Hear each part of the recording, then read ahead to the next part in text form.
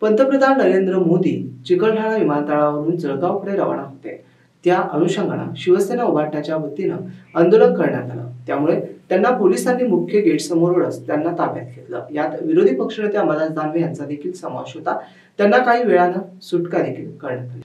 दिशा सलईयान प्रकरणावर आदित्य ठाकरे यांनी आपली भूमिका जाहीर करावी अशी मागणी भाजपची होती. तर सरकार भाजपचं आहे त्यांच्या गृहमंत्र्यांनी सदर प्रकरणावर एस आय टी चौकशी नेमली आहे येथे आंदोलन करण्याचा संबंध काय? असा सवाल विरोधी पक्षनेते अंबादास दानवे यांनी उपस्थित केला. तसेच पोलीस केवळ सेनेच्या कार्यकर्त्यांना ताब्यात घेत असल्यानं दानवे यांनी रस्त्यावर ठिया मांडला होता.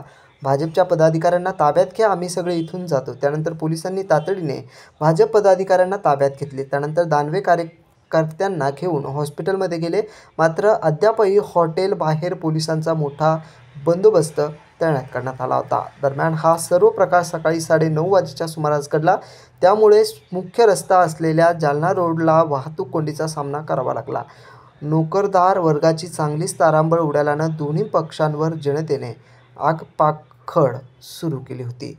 ब्युरो रिपोर्ट या न्यूज छत्रपती संभाजीनगर.